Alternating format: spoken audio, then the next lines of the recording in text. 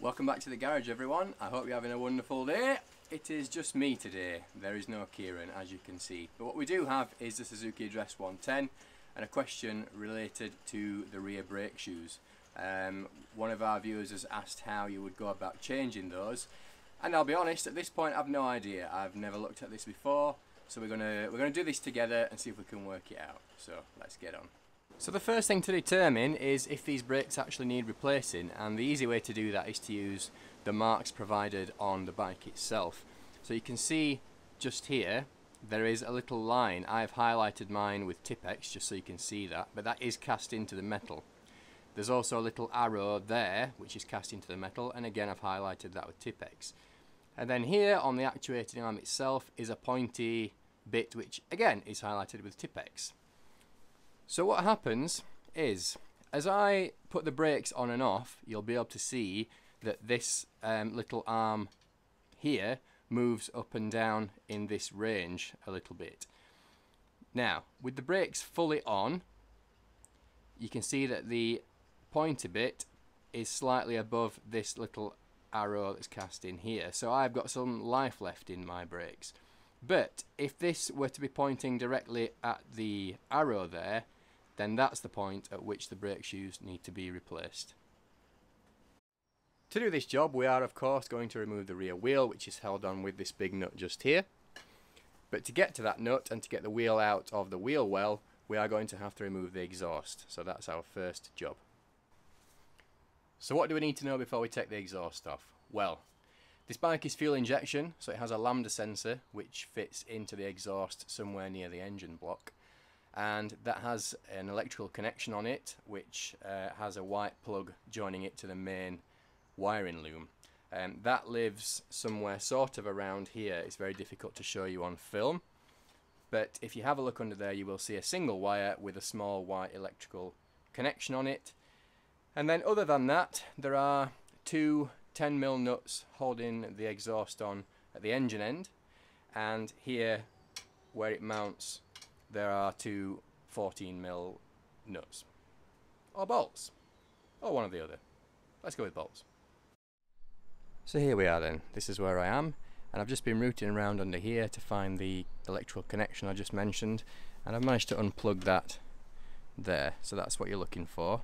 It has a thin single blue wire underneath a black sheath and that's the connection itself. So that uh, that's undone. So the only thing now is to go under and do the 10 mil bolts and then we'll come back here and do the 14s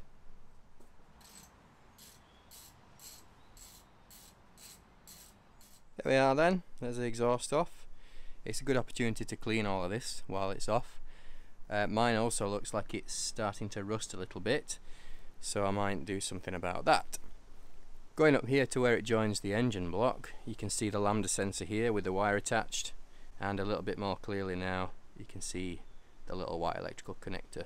So I'm going to put that out of the way, and we'll start having a look at this wheel.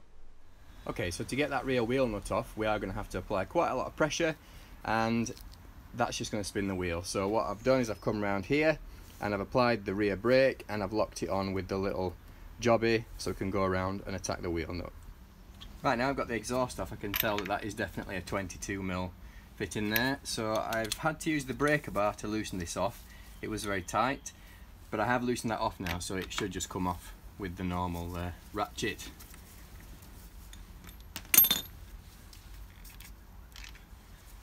And what we've got is the nut and a washer. So the washer was on first and then the nut. Now we've got that wheel nut off then, I've just released the brake up at the front and I'm also going to back off this adjuster down here so as to give myself the best options for getting the wheel off. So with the wheel nut and the spacer removed, the rear brake's been released up at the front and I've also wound off the adjuster we should just be able to pull this wheel off in this direction. Just like that. So with the wheel off, we can now see the brake shoes themselves. That's the whole point of this job. We're going to try and get those off now. First thing I'm going to do then is completely remove the adjuster nut to make sure there's absolutely no tension left in this system. So there we are. I've taken the adjuster nut off and removed this piece here. For anyone that's interested, I'm just going to show you quickly how the rear brake drum works. As you pull on the lever, it actuates the arm there, which, I don't know if you can see that, it moves a cam, which pushes the brake shoes out against the internal line of the brake drum. So that's how that works. So we're going to have a go now at removing the brake shoes. They're not screwed on or bolted on or anything. There are a couple of springs here and here and it's basically the spring tension that keeps them in place. So to remove those it's a case of working it this way working it that way and sort of fiddling it off the off the connections there. So this is the cam that turns which actuates the brake itself and then there's just a little post here so it's a case of just working them off. Once the spring tension's gone it's fairly easy to just pull those this way with the brake shoes off, it's a good opportunity to just get a little um, nylon brush or something, or an old toothbrush, and just have a little go around in here. Just be careful that you're not breathing in any brake dust, it's not particularly nice stuff. So now we're going to have a go at putting the new brake shoes on. These are obviously not new, these are my old ones, but it's just the same process. Uh, we'll try and get it on, it's a bit fiddly. Also apologies if you're picking up any wind noise, it is uh, tremendously windy outside. So to put these on, um, it's a case of working them over the the cam here and just this little post here. Probably easier to start at the cam end. So we'll put those in like this and then work them over the post, overcoming the spring tension. There we are. So there's your new brake shoes installed. So while we've got the wheel off, I'm just using the same nylon brush to uh, clean out the inside of the brake drum there. It's just got a bit of brake dust. Time to put the wheel on then. It's uh, splined, so it's just a case of lining the splines up and slotting it back on. There we are, that's that on. And then we need the washer and the nut. So there's the washer. And there's the nut. So tightening this um, wheel nut up means spinning the wheel. So what I'm just doing is counter holding the wheel to tighten that up. And I don't have a manual for this, so I don't know what the specified torque setting is. But let's just say pretty tight. I'm back round at this side of the bike then and I'm reattaching all of this business down here.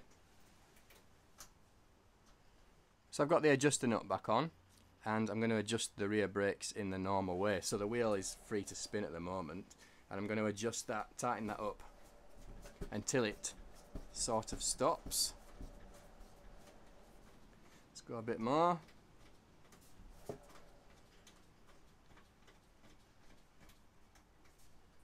There we are, so that wheel's locked now, I can't actually turn that wheel. And then I'm going to back it off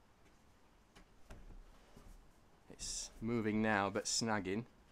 I'm going to back it off another bit and a bit more and just a little bit more.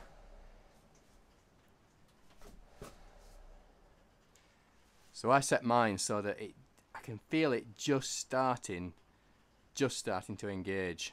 Um, it's hard to explain that without you actually being here to feel it but you can see that the wheel will spin but it is just ever so slightly touching on the brake shoes, which means when I apply the brake lever, the action stops the bike straight away. So the brakes are applied more or less straight away. So if you just put some new brake shoes on, you'll be able to see at this point with the brake on, if you were to apply the brake, you'd be able to see that this uh, little pointer would be further up here than it was originally. It should be further away from this arrow and uh, further up here. Probably not all the way up there, but somewhere in the middle perhaps. So now I've got to put the exhaust back on and I'm going to work that into position and then I'm going to put the two big um, bolts that hold it nearer the rear wheel. I'm going to just put those loosely in position for now so that I can get the nuts in that are nearer to the engine side of things.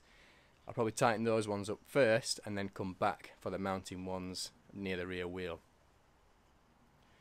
The ones near the engine block, again I don't have a torque setting for those, I'm not working from a manual Uh, but what I will say for those is you don't want to absolutely monkey those on tight. They don't want to be super, super tight. You kind of want to nip those up and then maybe just a little fraction more.